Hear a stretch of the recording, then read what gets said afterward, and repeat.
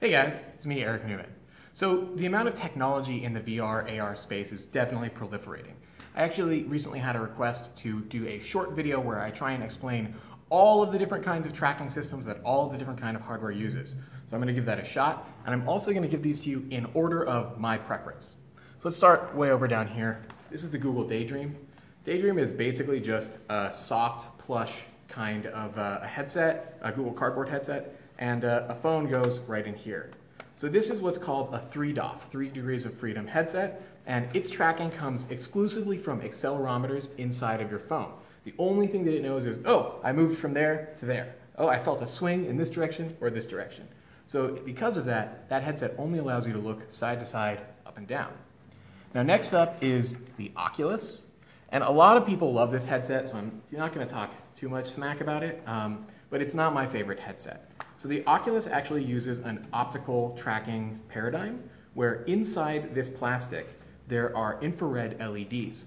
And each of the tracking towers for an Oculus is actually a camera that is recording the motion of those things and determining the position of the headset by uh, basically knowing the size and shape of the headset itself. So it can obviously tell how far away something is because there's these dots all the way around it. I don't love this paradigm because your cameras actually have to be pretty high quality, which means they're expensive, which means that it doesn't scale. You also end up having to push a, a lot of data through the pipe um, from each camera, an entire actual image, which again means it doesn't scale that well. Now Oculus has had some success in, uh, in bringing the quality of that up, that's good, but I still am not as big a fan of it as I am of the Vive. So the Vive is sort of like my first true love of virtual reality. Um, you can see I have one right here. And uh, the Vive actually works using a laser-based tower tracking system. So there are these towers that are called the lighthouses, and they're these little boxes. Uh, and basically what the lighthouse box does is it beams out a laser that has a time code baked into it. In the pulses of the laser, uh, the, the actual very, very, very precise timestamp of when that pulse was sent is included. And so what you have is basically a very simple form of triangulation. Uh, you have two towers, you have one headset or one controller or two controllers, and each of these little dimples on the controllers or the trackers or the headsets, they're actually sensors. And the shapes are very, very carefully calculated so that no matter how I hold this thing, almost any way I hold it, there's going to be a direct line of sight between two points on this controller and either of the lighthouse towers. So this is also really, really awesome. This is the most precise tracking system on the market, I'm pretty sure. Um, and so top marks go to this for quality of experience. But of course, it's kind of expensive and you have to set it up, it has to stay calibrated, and you need an entire room dedicated just to have that set up. Now, what I don't have here is a PSVR, but I'm going to try and explain it to you guys anyway.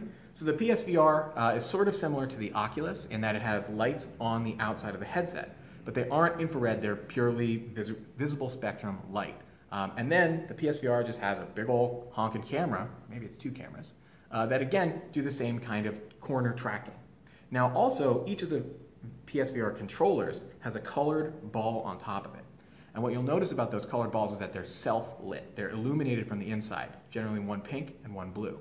And so what this means is that this sphere, obviously the sphere looks the same from any side, um, but the, uh, the actual PSVR, the PlayStation, can always tell how far away these things are in any kind of light, because they're always going to be essentially the same color, whether it's the middle of the day or the middle of the night. Now this brings me to my favorite new system, which is the Windows Mixed Reality system. I think this is the direction that uh, all of our VR is going to be going.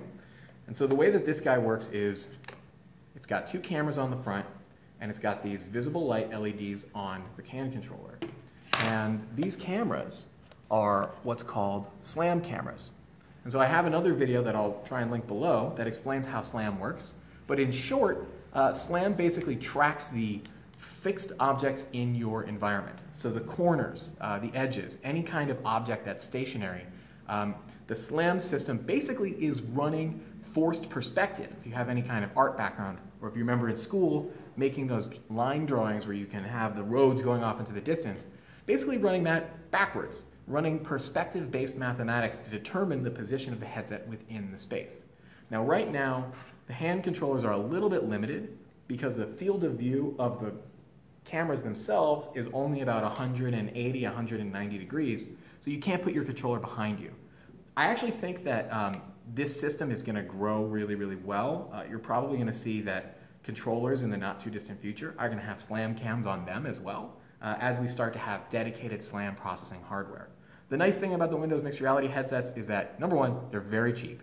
They're very lightweight, they're comfortable, there's no setup. You can roll with this in your backpack and just go anywhere you want. And uh, they work pretty well. Not quite as well as the Vive, so I'd still recommend that if you're going to be doing heavy gaming or you're like, I don't know, working on a surgery system. Um, but for most normal consumers, I think this is good and it's going to get better. Hope that was fast enough. Uh, please let me know if you have any questions, comments, anything, put it below. And of, of, course, as always, if you enjoyed this at all, like and subscribe. You can find me on YouTube, where actually I'm going to be putting more and more of my videos out. Uh, just search for Eric Neuman on YouTube, and I'll see you guys there. Till next time, catch you later.